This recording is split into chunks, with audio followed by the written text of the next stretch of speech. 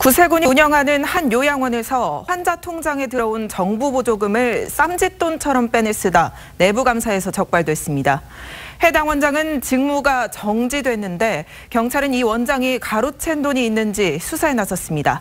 박재훈 기자가 보도합니다.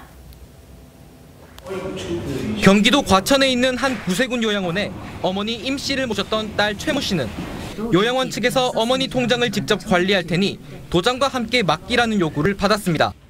통장을 저기 원에서 저기 관리해야 되니까 어, 반납을 하라 그러더라고요. 반납을 안 할 경우에는 퇴소를 해야 된다. 그런데 어머니 통장에서 2년 동안 몰래 300여만 원이 빠져나간 사실을 확인했습니다. 제가 지금 들고 있는 서류가 구세군 내부 감사 보고서입니다. 감사 결과 2년간 임 씨의 계좌로부터 빠져나간 320여만 원 중 180여만 원을 반환하라고 결정했습니다. 매주 헌금 명목으로 돈을 빼가고 불필요한 고가의 휠체어를 동의 없이 구매하기도 했습니다. 임 씨뿐 아니라 해당 요양원에 있는 환자 20여 명 모두 통장을 맡겼는데 요양원 한 관계자는 이런 식으로 다른 환자 통장에서도 무단으로 돈을 인출했다고 주장했습니다.